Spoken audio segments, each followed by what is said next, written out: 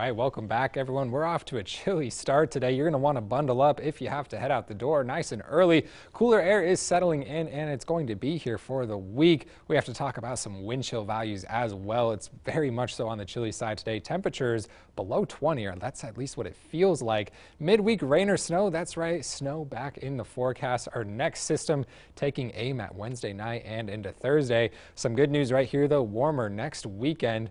Temperatures back into the upper 40s and maybe even lower 50s. Now outside right now, satellite and radar showing a clean sweep across the board.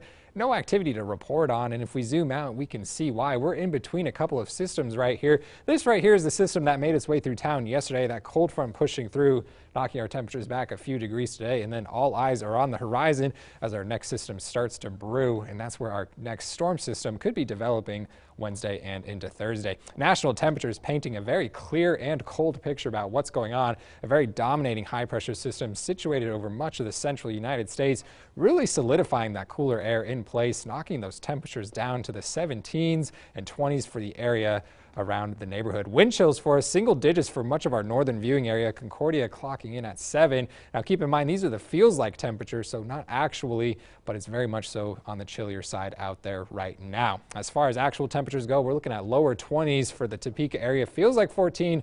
Winds out of the west and west northwest, only about 8 miles per hour. That's not much, but it's enough to knock down those temperatures at least a few more degrees. Across the board, here's what we're watching. 20s, 21 for Lawrence, 20 for the Hiawatha area, 21 for Manhattan.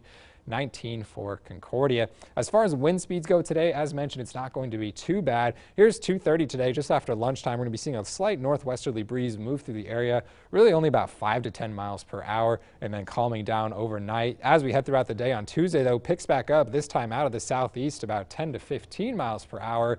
So wind speeds really not forecast to be too much of a problem but you'll notice a slight breeze in the area. This afternoon, temperatures in the lower to middle 40s across the board, fairly uniform right here. Tomorrow morning, I think this model's a little bit on the warmer side. These overnight lows should be dropping down really into the lower to middle 20s, making for yet another chilly start to your day tomorrow. And then we head through the afternoon hours on Tuesday, temperatures climbing back into the upper 40s, making for a slightly warmer day, but really today and tomorrow are going to be fairly similar. Heading into our upper air patterns, telling us where the storm systems are going and where they're coming from. This was our last one right here, this large trough now well off to our east. All eyes are on tomorrow and into Wednesday. Here's tomorrow, a little bit of a ridge right here. This is allowing just enough warmer air to filter into the south. That's why we're going to be seeing temperatures in the upper 40s. But keep an eye on Wednesday. This is our next storm system developing. It's a couple days out still, so we can't nail down too many specific details, but we will be seeing some rain and snow move through the area. In fact, future track laying it all out for us. Really no activity expected until Tuesday night. Some cloud cover moving in from the west side, coming into much of the central viewing area.